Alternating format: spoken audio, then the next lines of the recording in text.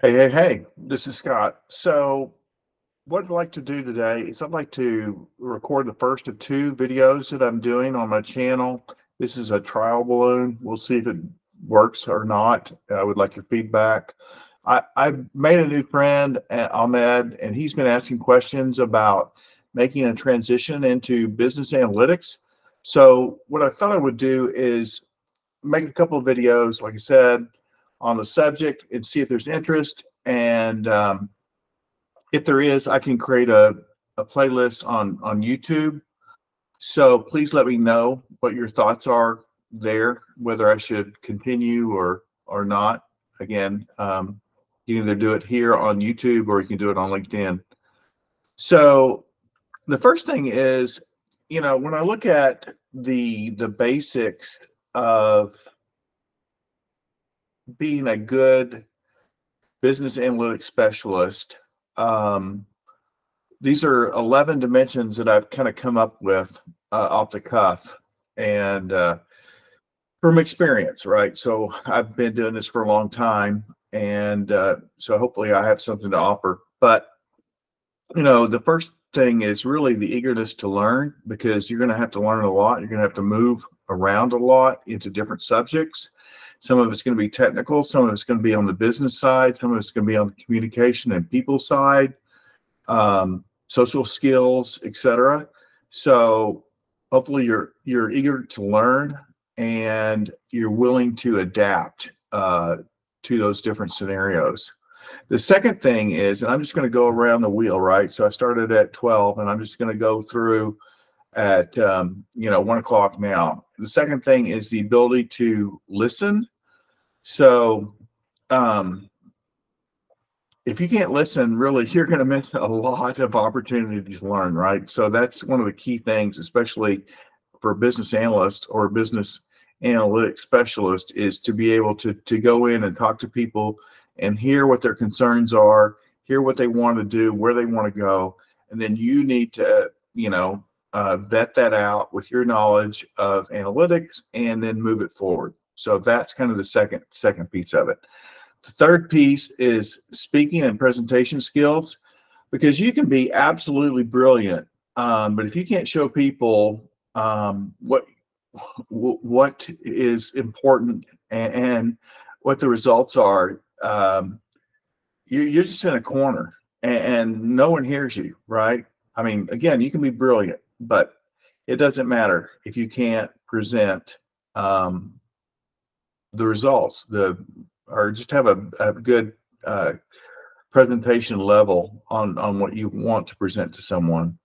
Um, and then you have to be interested in the business, right? And, and you need to be honest because there's certain people that just want to be with the computer one on one and they don't want to necessarily be with people. And I get that. And there's been times in my career that I've been that way too. I just wanted to be isolated. There, uh, so there's no shame in that. Um, so, you know, the old tenet, uh, know thyself and, and just, you know, be honest, be honest with yourself. Cause if you lie to yourself, you're not going to do yourself any good whatsoever in, in anything that you do. Um, writing skills, again, you can really be brilliant, but if you can't show people on a written format what you want to convey, what you want to communicate, it doesn't matter. Again, your brilliance won't won't shine through if you can't communicate it in in those two formats, both verbally, present it with a presentation, and then on paper. Um, then the next one is work well with others, right? So I've seen people get fairly far by being prima donnas, right? They're just really good at something, and their manager um, lets them get a pass through, you know, certain things because they're just really good at something, right? But that's it's really more of a technical skill, and and being a business analytics specialist, you're really not going to get very far. Um, being a prima donna because you have to get along with people. You have to get along with people in the business. They have to trust you. Trust, trust, trust is a big, big thing. So that's that. Data skills. So that really kind of speaks for itself. You probably are aware of that.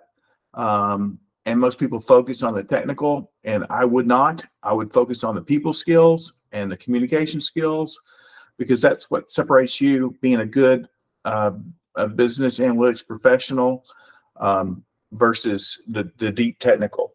Um, some of the things that you should know, right? And I'll do this in the next video. I'll talk about some of the things that I think are important topics. But you know, there's tools, you know, obviously there's, you know, Excel, right? People say, well, you know, don't use it, but a lot of businesses use it. So you need to know it. SQL.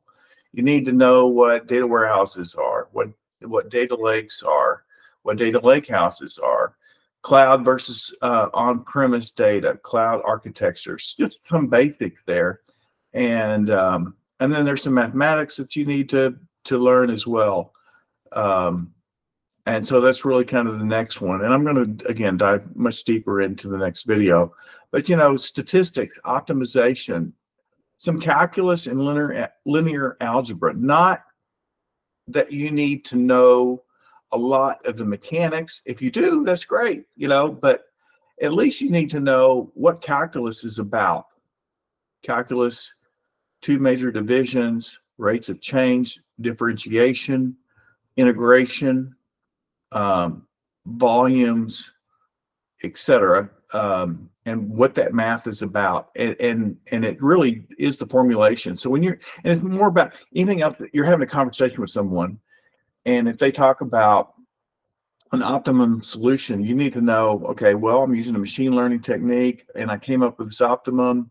How kind of did it happen, right? How does it know what the optimum is? What is a global optimum? What's a, uh, a local optimum, uh, et cetera. So you, you kind of need to be able to speak the language. Visualization skills, huge, uh, especially these days. So taking an analysis and then translating it into a dashboard, a visual dashboard, like you know, Tableau, Power BI, Qlik, et cetera, et cetera. So that is very important.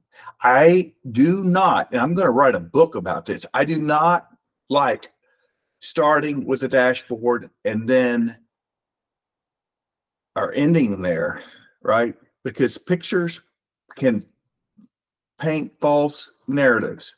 What you need to do is you need to do the analysis and then you need to support the analysis with a dashboard, not the other way around. Um, and then storytelling, and that really goes hand in hand with dashboards as well. So, um, you know, you need to do the analysis, but to communicate with someone, to really communicate, you need to be a storyteller and you you tell that story a lot of times either one-on-one or you can tell it with a, a visual dashboard which is great but don't make up the story. Let the analysis speak for itself. There's too many people that come into data analysis or analytics uh, they they want to support a position. Don't do that. Let the data support its own position and then tell the story or the visualization on top of that. Please please please. Um, so what's next?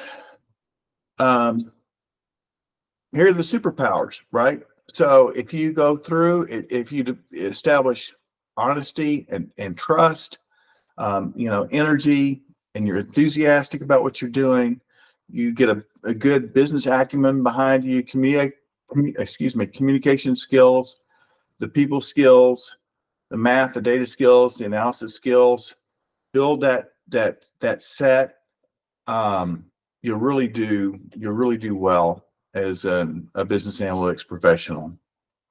And so the next video, I'll I'll be more technical. I'll be more tactical. Um, you know, strategy um, is kind of what we're doing now.